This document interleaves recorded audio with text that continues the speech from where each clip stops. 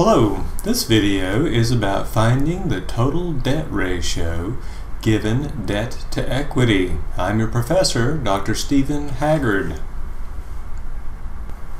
Okay, let's talk about some leverage measures. The total debt ratio is total debt over total assets. Now be careful here because students oftentimes want to just do long-term debt divided by total assets. But this measure does include the current liabilities. And so if you just want to make sure, you might take total assets minus total equity, divide by total assets. That way you'll be sure to get those current liabilities also. And then there's another measure of leverage that we discuss, and that is the debt to equity ratio. And that is just the total debt divided by the total equity. And once again, that does contain your current liabilities, so you could also say it is total assets minus total equity divided by total equity. And then finally, let's talk about the equity multiplier, which is purely total assets divided by total equity.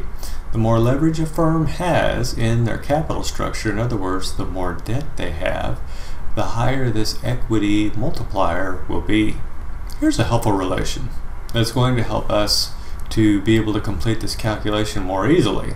And that is to know that the equity multiplier is just 1 plus the debt to equity ratio. Now how do we get there?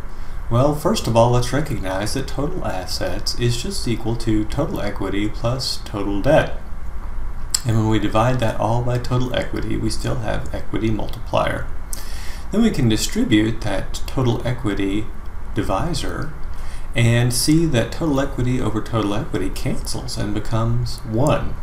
And so we can see that the equity multiplier is just 1 plus the debt to equity ratio. So here's what the typical problem statement would look like for one of these problems. A firm has a debt to equity ratio of 0.6. What is the firm's total debt ratio?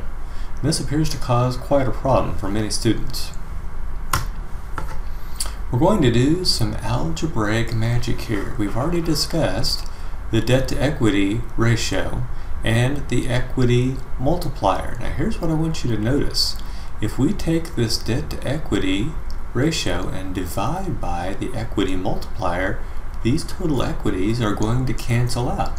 And what's left over?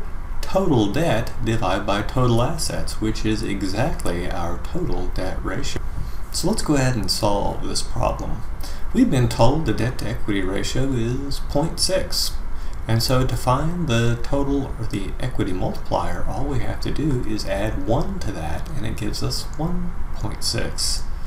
And so we know that taking the debt to equity ratio divided by the equity multiplier is going to give us that total debt ratio.